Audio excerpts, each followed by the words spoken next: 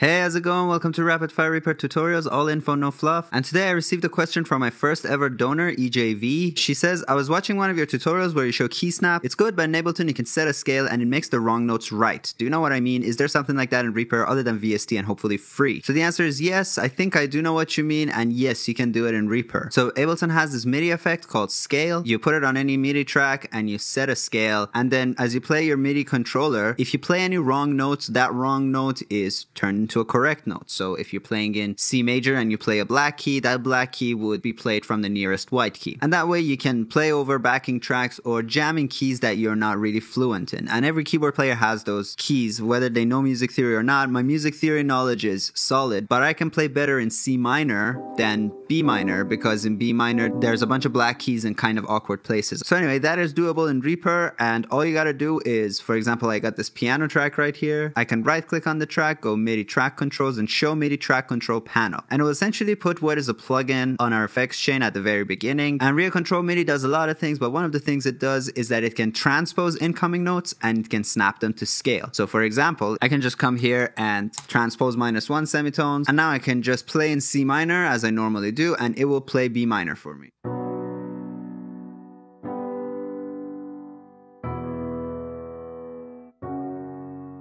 And if we go and look at our MIDI track, you can see that I played in C minor, but what we heard was B minor. Just to show you, I'm going to play the track and then I'm going to turn this off in the middle. And now with this off, you can also then snap it to any scale. So, you know, obviously C major is an easy scale to play, but you can you can put this in E major or something. And now if I start playing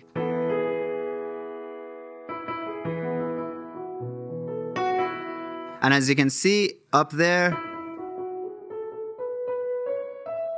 I'm playing notes in sequence and I'm playing some wrong notes, for example, this F, but we're hearing only the correct notes. Every note that's outside of the key, it will be snapped to the note before it. Now, one thing you may want to do is to record what you're hearing rather than what you're playing. In the first example, I played in C minor and my MIDI item is now written in C minor, but I may want it to be written in B minor. And the fix for that is very easy. You just right click here and instead of having it record input, you can go and record output in MIDI. Well, this file has already been recorded, though we can use the key snap feature, which I covered in the video. Watch that video if you haven't. A thing should pop up right about now. But if I now go and one more time play something in C minor, you'll see what happens.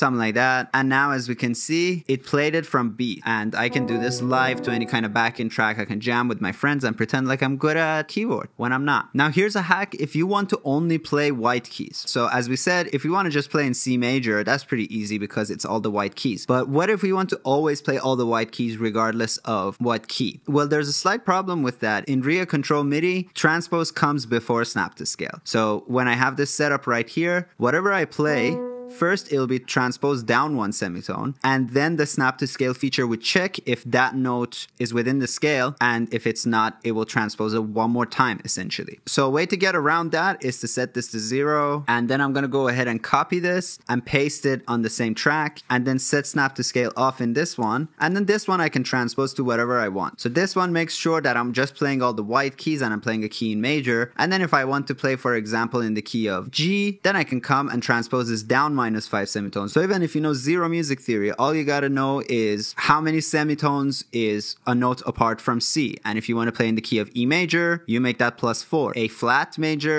you make that minus four, and so on and so forth. If you want to play in minor, you can learn the relative minors, or you can come and set this to A minor, and A minor is the scale with all the white keys. So then essentially, if I have this set up right now, it'll play from E minor, which is five semitones below A minor. And last thing is by default, there's not a lot of scales and keys keys available in Reaper. So there's these chords and there's these scales. However, you can go to the forums and I will put this link in the description as well. This wonderful user called Zappa Dave has created literally hundreds of scales that you can just download and load into your Reaper. You copy the file from your downloads, you come here, you go to options, show Reaper resource path in Explorer slash Finder, you go to data, and then you can paste the file that you downloaded off the forums here. And then all you gotta do is come back here, go load. It'll automatically open this exact folder. And now I have literally hundreds of scales to choose from. Go and explore explore these. It's really fun. It may not look as sexy as the scale MIDI effect in Ableton, but that thing's kind of confusing with the grids. I don't like it. So that's it for today. If you like the work I do, donate to me. And uh, otherwise, you know, whatever. Enjoy these videos and I'll see you later. Bye.